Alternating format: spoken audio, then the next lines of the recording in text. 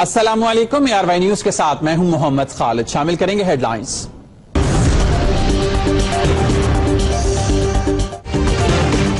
बुलान में जाफ़र एक्सप्रेस की कई बोगियाँ उलट गईं, चार अफराद जाम बहक, पैंतीस जख्मी। बदकिस्मत ट्रेन कोयटा से रावलपिंडी जा रही थी। इमदादी कार्रवाइयाँ जारी। शराबी का जहाज़ उड़ाने का इल्ज़ाम। गिरफ़्तार पायलट असमत महमूद लाहौर की इंसदाद दहशत गर्दी अदालत में पेश। तीन नवंबर को लाहौर में तैयारा हादसे से बाल बाल बचा था।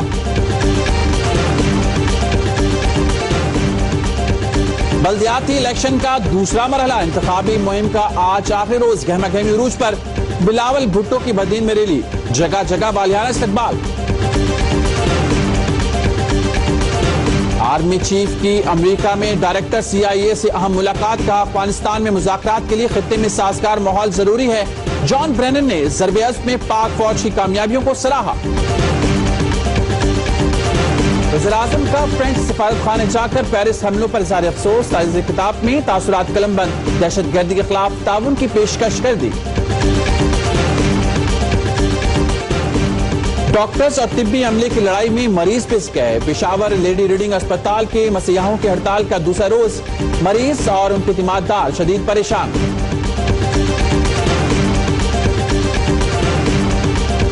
देश से आने पर डांटा क्यों? शादरा अस्पताल लाहौर की मुलाजमा ने शोहर को बुलवाकर डीएमएस को पिटवा दिया। जुल्फकार भट्ट को दिल का दौरा पड़ गया। शरियार खान की जेर सदारत पीसीबी गवर्निंग बोर्ड का अहम इजलास लाहौर में जारी। पाकिस्तान सुपर लीग समेत कई अहम इशूज जेर गौर। और इंग्लिश प्लेयर दिखाएँगे जादू। शाहीन ले जाएँगे बाजी। सीरीज़ का तीसरा वनडे आज शारजा में होगा। जख्मी star spinner Yasir Shah out Zafar Gohar की शमूलियत मुतवक़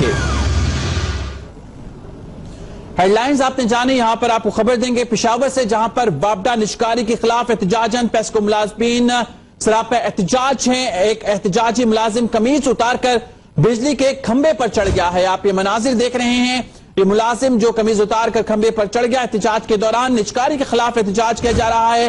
पेस्को मुलाजमीन सरापा एहतजाज हैं, एक एहतजाजी मुलाजिम कमीज उतार कर बिजली के खंबे पर चढ़ गया। आप ये मनाजिर देख रहे हैं, ये मुलाजिम जो एहतजाजन कमीज उतार कर इस खंबर पर चढ़ा है। शहजाद महमूद हमारे साथ मौजूद है, उनसे मस्जिद जानेंगे। शहजाद, इस एहतजाज के बारे में आगाह कीजिएगा। हमारा रबता मुनकता हो गया है। हमारे नुमाइंदे शहजाद महमूद से एहतजाज का सिलसिला जारी है। पेस्को मुलाजमीन सराप एहतजाज है।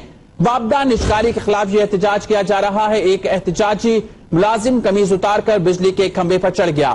आप ये मनाजिर देख रहे हैं। उसके साथ ही उसे खंबे से उतार रहे हैं। एहतजाज किया जा रहा है। पेस्को मुलाजमीन की जानब से बापटा निष्कारी के खिलाफ शहजाद हमारे साथ मौजूद हैं। मजीद जानेंगे। शहजाद आगाह कीजिएगा कि एहतजाज अभी भी जारी है। जी वापडा की निजीकारी के खिलाफ वापडा हाउस पिशावर में इस वक्त मुलाजमीन एहतजाज कर रहे हैं। इन्हीं मुलाजमीन में से एक एहलकार है जो कि वापडा की निजीकारी के खिलाफ उसने खुदकुशी की कोशिश की है।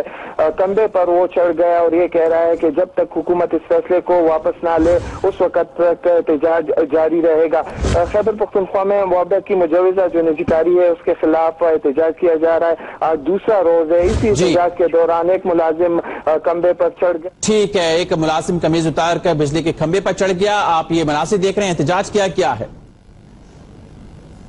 और अब बात करेंगे ट्रेन हादसे की। बुलान में जाफ़र एक्सप्रेस की कई बोगियाँ उलट गईं। चार अफराद इसमें जाबहाक और पैंतीस जख्मी हुए हैं। बदकिस्मत ट्रेन कोयटा से रावलपिंडी जा रही थी। इमदादी कार्रवाइयाँ जारी हैं। जख्मियों को अस्पताल मुंतकिल किया जा रहा है। ब्यूरो चीफ शाहिद रिंद इस वक्त हमारे साथ मौजूद है। उनसे मजीद सूरत जानेंगे। शायद आगाह कीजिएगा, चार अफराद जाबाक और पैंतीस जख्मी हैं।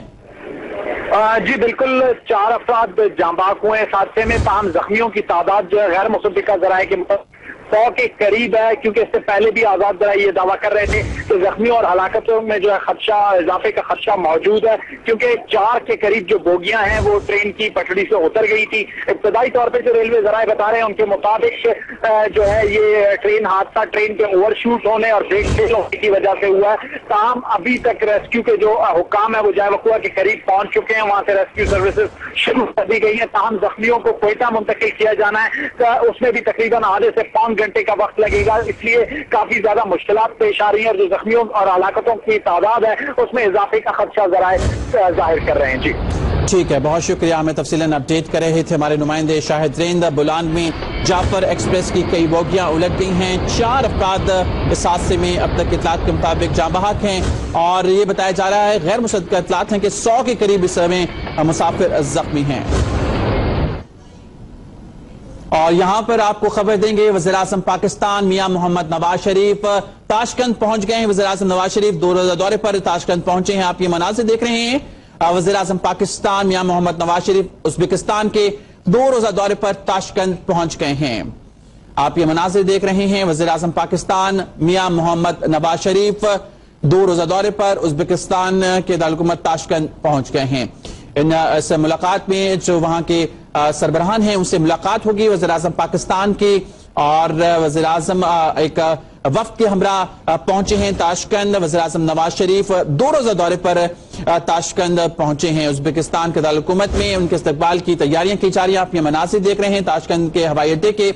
उज्बेकिस्तान पहुँचे हैं ताशकंद में वज़ीर अजम मियान मोहम्मद नवाज़ शरीफ।